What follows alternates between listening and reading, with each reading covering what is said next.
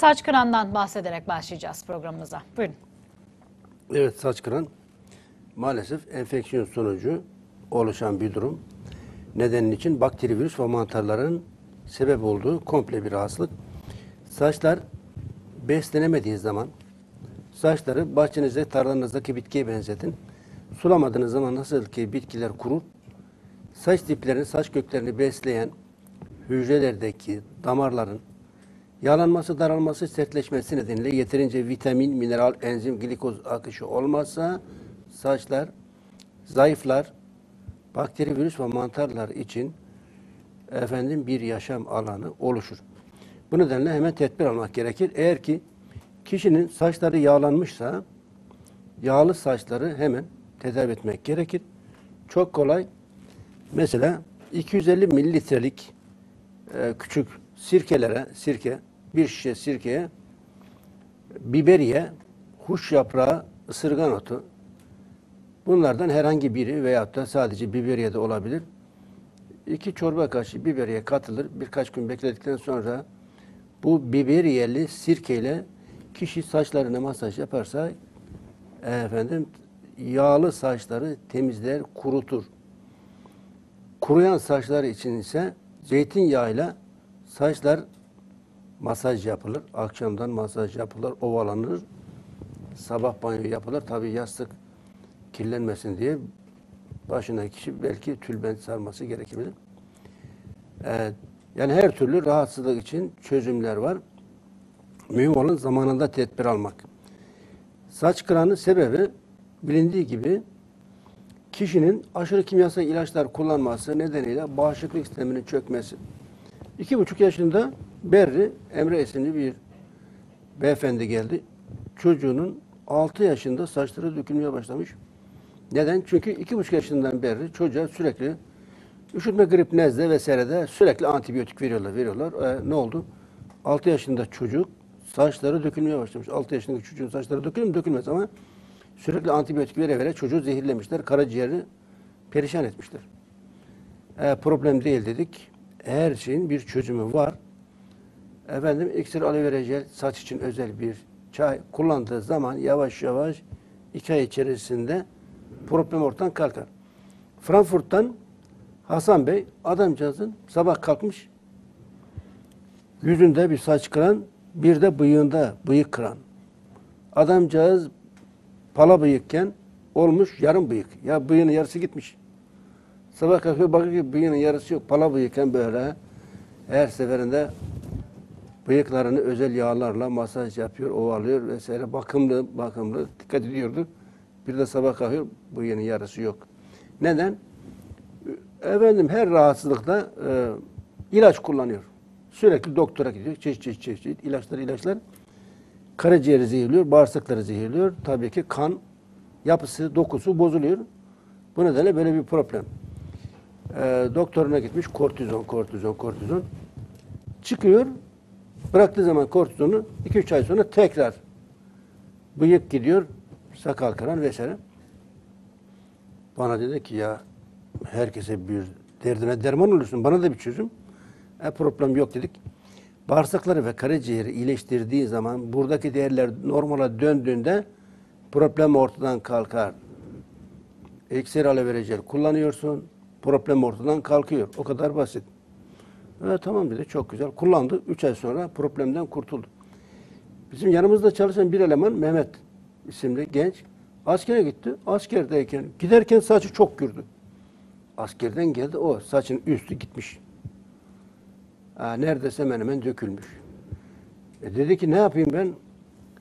E işte iksir nedir? Limon suyu, sirke, sarımsak, zencefil, zerdeçal, kurkuma, longa, altın başak otu, zeytinyaprağı, kakule içerir. Bunları kullanıyorsun. Yavaş yavaş bağışıklık sistemin güçlenir. Karaciğer düzelir. Tekrar kaliteli kan yapar. İlikler kan yapar. Omuriliğin içerisindeki ilikler ve karaciğer kan yapar. Bağırsaklar besinlerdeki vitamin, mineral, enzimi absorbe edemiyorsa nasıl kan yapsın? Kişide kan vardır ama kanın kalitesi düşük. Bu nedenle saçları yavaş yavaş dökülür. Beslenemediği için. Evet tamam. Kullandı. Üç ay sonra hiçbir şey kalmadı. Normala döndü. Bir beyefendi de dün beni ziyarete geldi. O da bir yıl önce saçının üstü tamamen cas cavlak olmuş. bir tane kıl tüy yok. Üstü gitmiş yanına arka duruyor. Bana dedi ki efendim saç ektirmek istemiyorum. Bunun bitkilerle çözümü var mı? Var ama çok çok zaman alır dedim. Problem değil ameliyat olmak. Saç ektirmek istemiyorum. Çünkü saç ekilince kişide birçok rahatsızlığı tetikliyor. İşte duş aldıktan sonra saçları yanıyor. Saç dipleri, sinirlere zarar veriyor. Rahatsız ediyor. Başında böyle bir pörük varmış gibi hissediyor. Kendini rahat hissetmiyor. Orada bir emanet doku hissediyor.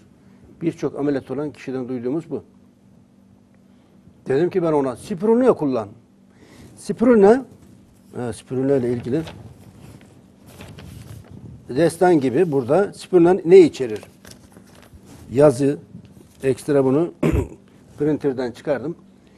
2000 çeşit enzim, 94 çeşit mineral, B1, B2, B3, B6, B12, K vitamini, A vitamini, E vitamini içerir. Omega 3, 6, 9 balık yağlarındaki yağlar içerir. Efendim, esansiyel ve esansiyel olmayan amino asitler içerir. Devam ediyor. 3 sayfa. Ee, hemen hemen 22 çeşit e, amino asitlerin hepsini içerir. Yani uzun bir anne sütüne hemen hemen eş değer dünyada tek gıdadır. Spirulina. Spirulina kullanacaksın ama günde 5 defa 2 kapsül takriben de 1 yıl. Aa, problem değil. Önemli değil. Ben kullanırım. Yeter ki şu saçım bir düzelsin. Psikolojik bunalıma girmiş. Saçın üstü tamamen gitmiş. Ne olacağım diye korkuyor. Ben problem değil. Tedavi ederiz. Bu spirulina kullandı kullandı. Dün geldi. Aa, saçı normal fırça gibi saç çıkmış tekrar. Evet ben de biraz ben de şaşırdım. Başka bir arkadaşımız da saçı aynı benim saçı gibi, gibi böyle gri, beyazlaşmış. Gelmiş bana diyor ki ben tekrar saçımın siyahlaşmasını istiyorum. Var mı bunun çözümü? Var. E dedi ki sen niye saçlarını o zaman siyahlaştırmıyorsun? Ben memnunum bu halimden. Saçım beyaz olsun. Ben böyle alıştım buna. Artık siyahlaştırmayı düşünmüyorum. E nedir? Her sabah kalktığında kişi bir diş sarımsak yerse bir yıl boyunca ama sürekli tekrar pigment oluşmaya başlar.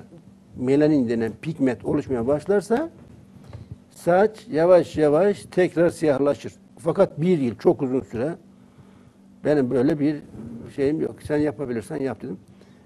Bir yıl sonra saçı simsiyah oldu. Bembeyaz olan saçları. Her gün bir diş sarımsak yerse kişi saçları tekrar siyahlaşabilir. Saç dökülmesi ve saç kıranı iyileştirmek, tedavi etmek mümkün. Ee, geç kalınmadığı sürece bunu tetikleyen sebepler bağırsak florasının bozulması, karaciğer yağlanması ve kanın yapısının dokusunun bozulması nedeniyle bağışıklık sisteminin çökmesinden kaynaklanmanda bu, bu nedenle bağırsakları karaciğer tedavi ettiğinizde damarların iç yüzeyindeki plakları çözüp temizlediğini arıttığınızda saç kırandan da saç dökülmesinden kurtulmak mümkün. Tedavi edilebilir. Mümkün değil. Yani problem yok.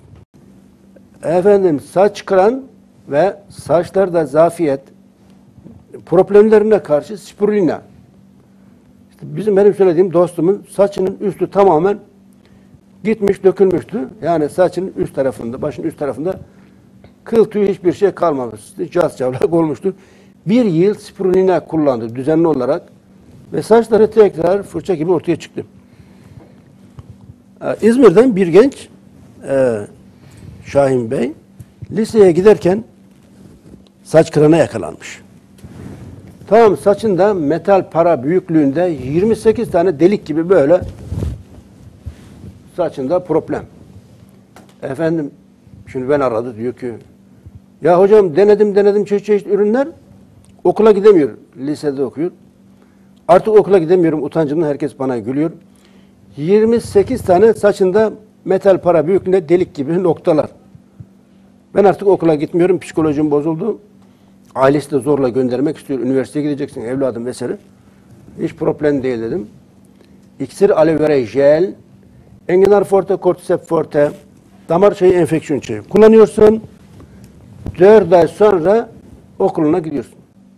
4 ay sonra tekrar saç kıran diye bir problem kalmadı. Evet Almanya'dan da bıyık kırana yakalanan vatandaş pala bıyığın da lakaplı ta- e, Hasan Bey'in de bıyığının yarısı gitmişti. O da 6 hafta içerisinde tekrar o meşhur bıyıklarına kavuştu.